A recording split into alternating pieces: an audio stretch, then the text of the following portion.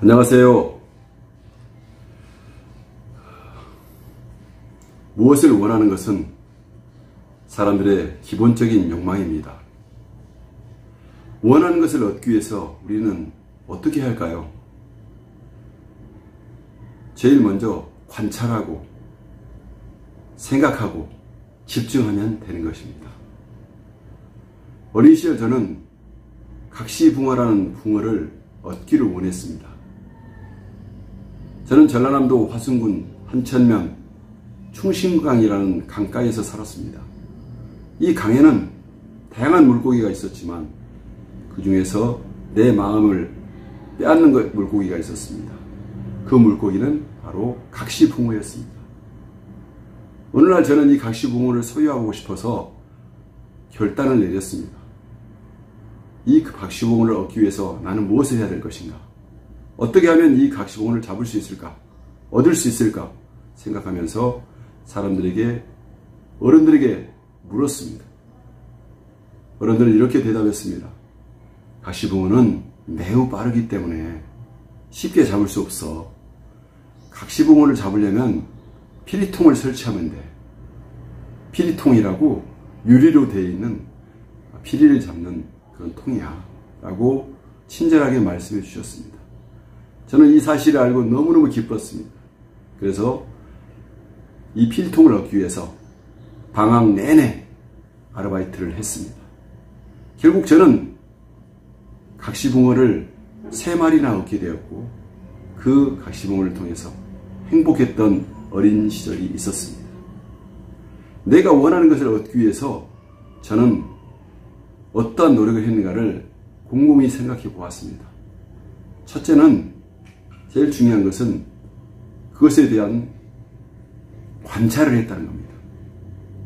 각시붕어를 관찰한 것입니다. 관찰해서 결론은 내 힘으로는 될 수 없다는 사실을 인정하게 된 겁니다. 두 번째로는 이 사실을 이 물고기 빠르고 도저히 잡을 수 없는 것을 어떻게 잡을 수 있는가를 생각하게 되고 가장 좋은 도구인 질문을 사용했다는 겁니다. 어른들에게 질문했습니다. 그랬더니 어른들이 그 질문에 답을 해주셨습니다. 우리는 어른들에게 질문할 뿐만 아니라 우리는 질문을 잘해야 합니다. 책에, 책을 통해서 질문하고 또 내가 원하는 것을 얻기 위해서 많은 질문을 통해서 그 얻는 방법을 우리는 터득하고 그리고 정보를 얻는 일에 게을리해서는 안 될 것입니다. 세 번째로 이 내용을 안 이후에 거기에 집중했습니다. 시간을 집중했고 마음을 집중했고 그리고 그것을 얻기까지 땀을 흘리는 것을 쉬지 않고 땀을 흘리는 것을 각오했습니다. 그랬더니 결국은 이 물고기를 얻게 된 것입니다. 저는 매우 행복했습니다. 지금도 행복합니다. 이 똑같은 방법을 내 인생에 적용해서 더 많은 것을 얻는데 제가 이 방법을 사용했기 때문입니다. 저는 독서를 하면서 많은 중요한 내용들을 표시하고 그 내용의 좋은 내용을 내 삶의 습관이 되도록 훈련하고 연습하고 있습니다. 그것은 내가 원하는 것을 얻는데 중요한 도구이기 때문에 그렇습니다. 관찰하고 생각하고 또 그것을 얻기 위해서 훈련하는 모든 과정들을 통해서 내가 원하는 것을 얻었습니다. 여러분도 얻을 수 있습니다.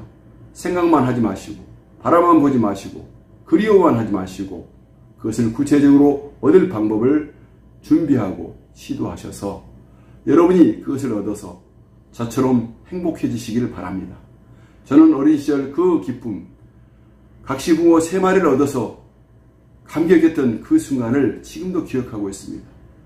그것은 어린 시절의 승리였고 그 승리를 맛보므로 그 이후에 훨씬 더 많은 승리를 맛보는 그런 인생의 중요한 시기들을 맞이하게 되었던 것입니다.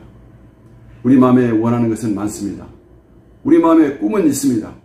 그러나 그 꿈을 이루기 위해서 원하는 것을 이루기 위해서 얻기 위해서 우리는 어떠한 방법을 사용해야 될 것인가를 알고 실천함으로 인해서 반드시 얻게 된다는 사실을 저는 확실하게 말씀을 드릴 수 있습니다. 감사합니다.